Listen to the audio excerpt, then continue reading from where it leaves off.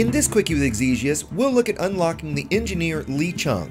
Primarily responsible for shield engineering, Lei is one of the most important engineers for any serious combat pilot and even for those wanting to build highly defended, open-safe trade ships. One of the mid-stage engineers, you'll need to have unlocked the Dweller to grade 3 to discover him. Let's have a look at the most efficient way to unlock Mr. Cheung. Once you've unlocked and ranked the Dweller to grade 3, you'll discover Mr. Cheung. To receive his invitation, you'll need to have traded in 50 different markets. These need only be different markets or stations, so using three markets in the same system is completely fine. For many, this will happen organically. By the time you'll discover Lei, it's rather possible you've already traded in 50 markets. You can determine the number of markets you've traded in on your right panel, under stats, then in the trading section. The most efficient way to complete your 50 markets is to head to a station and purchase the number of tons of cargo you need. If you need to trade in 20 markets, buy 20 tons. Then head to 20 random stations, one by one, selling a single ton of cargo at each. You can track your progress on your stats panel to ensure you're trading in markets you haven't traded with before.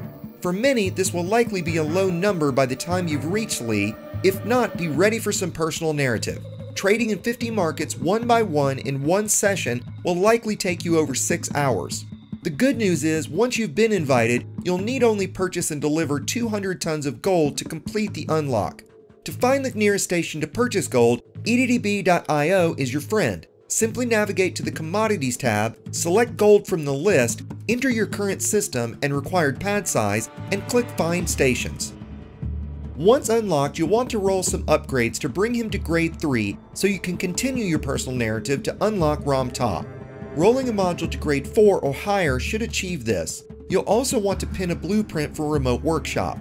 Likely the two most useful offered are Reinforced and Thermal Resistant, with Reinforced being most common for trade or prismatic shield tanks and Thermal most common for biweave builds.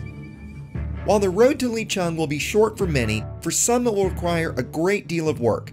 Fortunately, it is well worth the effort given the importance of the upgrades offered for both high-level combat pilots and those wishing to brave dangerous systems in open.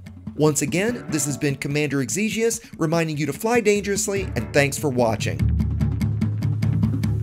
If you enjoyed that Quickie with Exigeous, I hope you'll check out my other content and that you'll join me on my weekly live streams, Tutorial Tuesdays, and the Creators Roundtable each Friday, and that you'll consider supporting my efforts via Patreon.